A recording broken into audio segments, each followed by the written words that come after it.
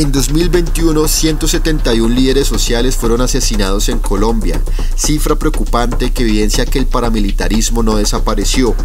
Esto fue uno de los motivos del libro Del paramilitarismo al paramilitarismo, radiografías de una paz violenta, para abordar la situación con miras a identificar continuidades y cambios en los fenómenos paramilitares durante los últimos años. Necesidad de indicar por qué entre nuestros aliados, organizaciones aliadas en Colombia, estaban siendo constantemente asesinados, asesinadas, amenazados, amenazadas. Y ese fue, pues, digamos, nuestra pregunta inicial. Eh, y por supuesto amenazados por el paramilitarismo colombiano, que ha sido un fenómeno que el gobierno se ha atrevido a negar por muchos años después de la desmovilización y que nosotros creemos sigue vigente dada pues, la situación de violencia que nuestro país está viviendo. Justamente lo que está en el subtítulo del libro, que em, digamos podemos hablar lamentablemente de una paz violenta, si es que hay paz en, em, o digamos sabiendo que en muchas regiones del país es muy difícil pensar o hablar de paz. El padre Javier Giraldo contó que la historia oficial dice que uno de los orígenes del paramilitarismo lo sitúa en los años 80, en la intención de los gremios económicos que querían defenderse de los grupos insurgentes y crearon ejércitos privados sin ninguna relación previamente con el Estado. También expuso la tesis general del libro. Cuando se diseñó este libro pensamos en que eh, a partir de esta coyuntura de las de Ralito, eh, se habría modificado de alguna manera el paramilitarismo y que en los últimos años había como una segunda etapa del paramilitarismo y la motivación principal del libro fue eh, auscultar o investigar en las diversas regiones qué formas subsistían en este momento de paramilitarismo. Había diversas interpretaciones. Una interpretación era la, continuidad del modelo paramilitar de los años 60, 70, 80, 90,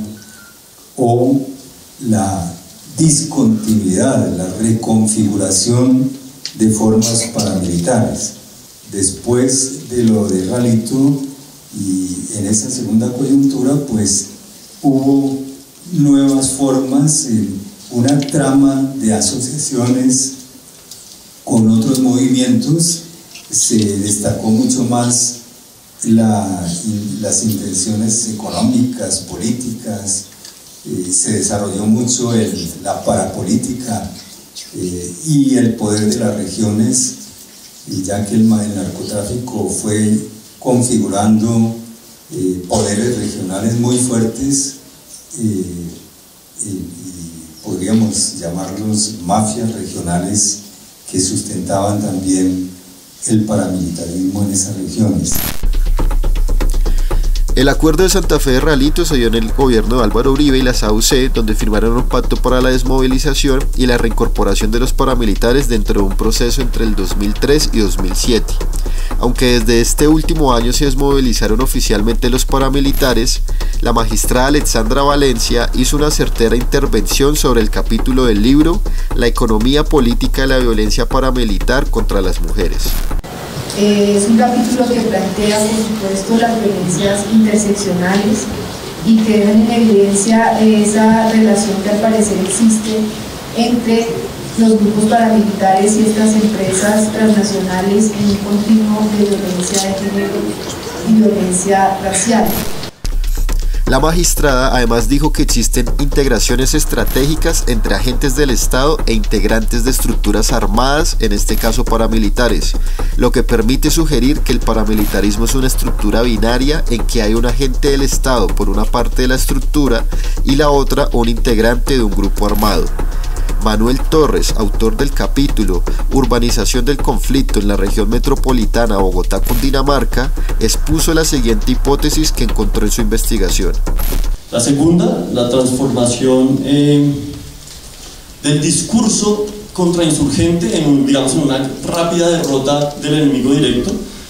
eh, la transformación del discurso contrainsurgente, un discurso de la seguridad que tuvo como principales víctimas los jóvenes populares de los barrios en Bogotá, Suacha,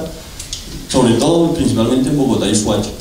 Eh, este discurso le permite en gran medida al paramilitarismo o al adoptar este discurso hacer una transformación que creo que es una lectura muy juiciosa que hicieron las estructuras de la realidad urbana y cuál era ese enemigo que había que señalar.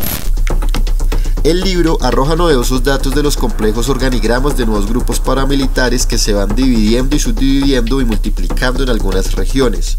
Además, el libro dio paso a una tesis con perspectiva nacional, el paramilitarismo no desapareció con el proceso de justicia y paz y tras la desmovilización y ante la desarticulación de un eje central, se reconfiguró territorial y estructuralmente, asumiendo posiciones en cada región de manera diversa, bajo la dirección de nuevos mandos, anteriormente mandos medios.